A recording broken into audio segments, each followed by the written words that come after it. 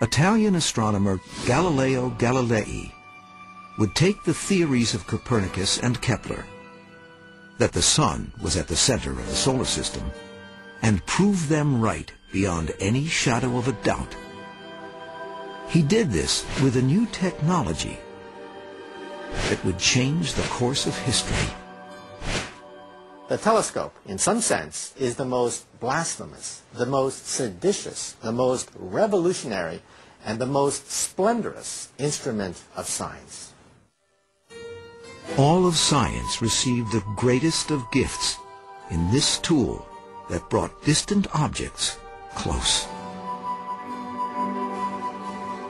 Once the idea got out that you could take two lenses, line them up in such a way, put them in a tube, and make a spyglass out of it, that would spread like wildfire around the world, as it did. And so the issue now is not who's got the telescope, but you now know what to do with it. Are you looking in people's windows, or are you looking up and out into the universe?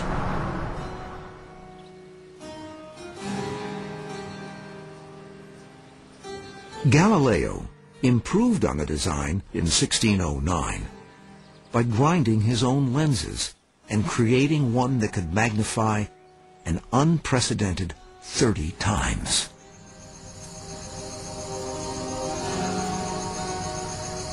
And with that telescope, for some reason, he decided to look at the sky as opposed to the incoming ships to the Republic of Venice.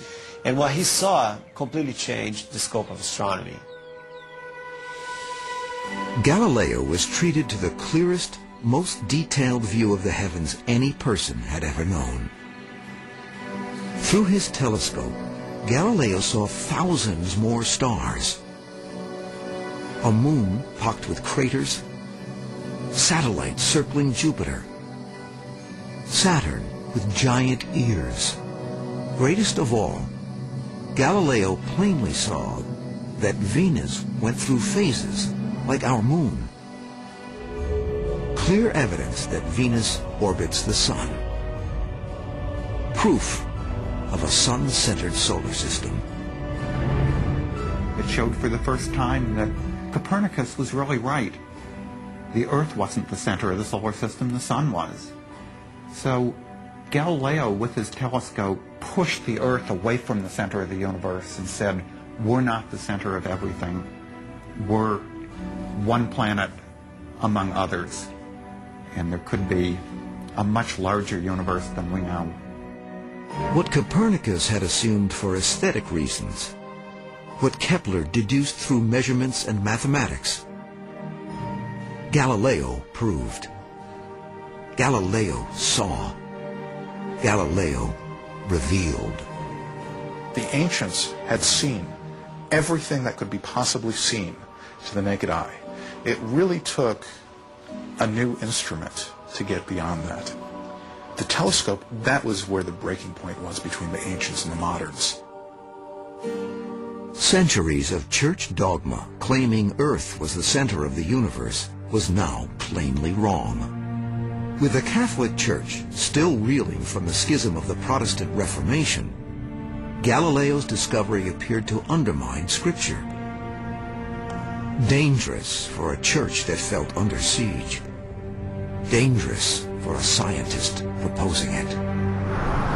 Nevertheless, Galileo, a devout Catholic, published his observations in a book called The Starry Messenger in 1610. Surprisingly, the church welcomed Galileo's findings at first.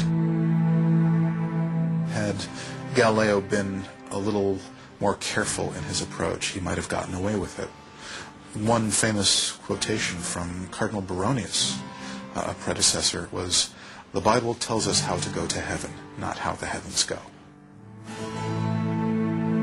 Ultimately, Galileo's downfall was not his inability to sway the church to his way of thinking, but rather his attempt at interpreting Scripture all by himself, independent of the church. Galileo quotes the famous uh, St. Augustine, who said that if you found an interpretation of Scripture which seemed to be contradicted by well-established knowledge, then you should reconsider that interpretation of Scripture. But the Church, concerned with perceived threats to its own power, could not concede biblical interpretation to Galileo. In 1633, after Galileo published a new book championing the sun-centered system, the Pope summoned him to stand trial for heresy. He's forced to give up all his Copernican ideas, which apparently he did kneeling in front of the tribunal.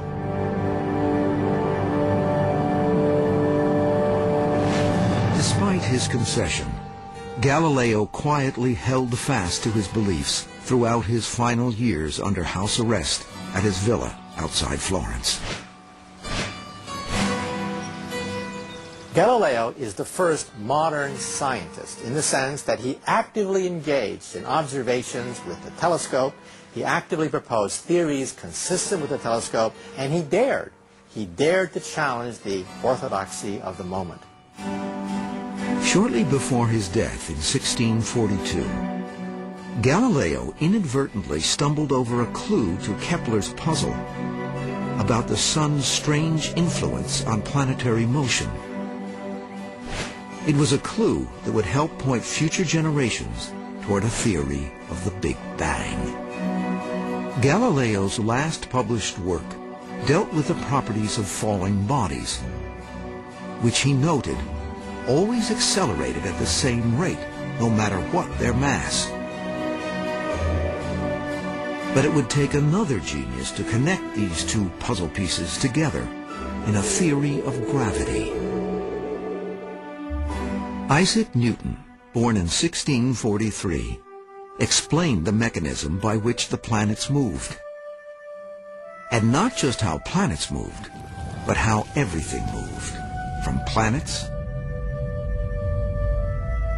to apples.